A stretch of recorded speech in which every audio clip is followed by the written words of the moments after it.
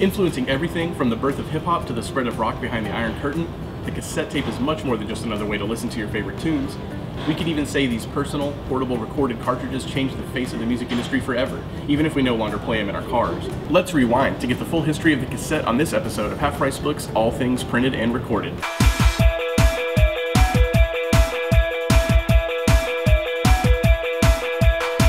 Magnetic tape was invented by Fritz Pfleumer way back in 1928, but it wasn't until 1963 that the familiar compact cassette was born in Belgium. Created for dictation machines, these early designs had the same two spools, auto reverse, and plastic shell of the classic cassette you know and love. Sony pressured Philips, the tape's manufacturer, to license the format free of charge, which meant this new technology beat out competitors to become the industry standard. Once developers improved the sound, these new music cassettes became an excellent way for record companies to sell the latest hits. In 1965, albums from artists like Nina Simone, Eartha Kitt, and Johnny Mathis were widely available on this format. Because the 8-track was also in the picture, thanks to Bill Lear of the Learjet Corporation, there was a little bit of a format war going on. However, since the 8-track often had a second of silence right in the middle of your favorite song, the more mechanically reliable cassette had the advantage. By 1968, when car makers first added an in-dash cassette player, it was pretty clear who would emerge the victor. Once Dolby noise reduction was introduced that same year, cassettes didn't just offer portability, they gave the listeners hiss-free high fidelity.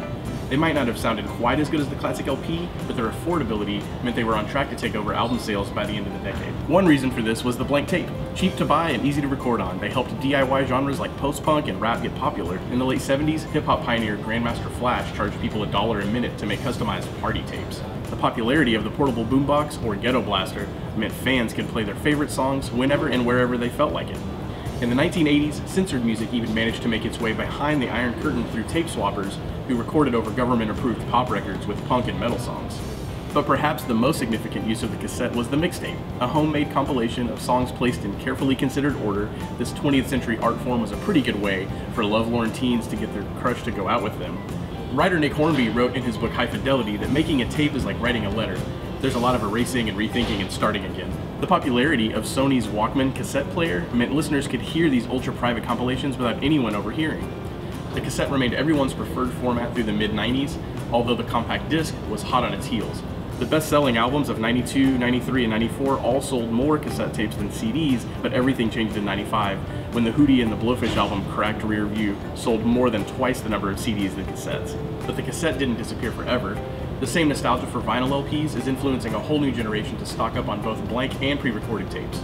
National Audio Company in Missouri, the largest of the few remaining manufacturers of cassettes in the US, even introduced an awesome mix number one cassette inspired by the 2014 film Guardians of the Galaxy. In 2016, cassette sales in the US rose 74%. The cassette may never regain its former popularity, but the cheap price tag and cool retro appeal means global celebrations like National Cassette Store Day will always keep these tapes in the spotlight. Now, if you excuse us, we've got a mixtape to finish. This has been Half Price Books, all things printed and recorded. To learn more about the history of the cassette, check out our blog at blog.hpb.com. Until next time, catch you on the flip side.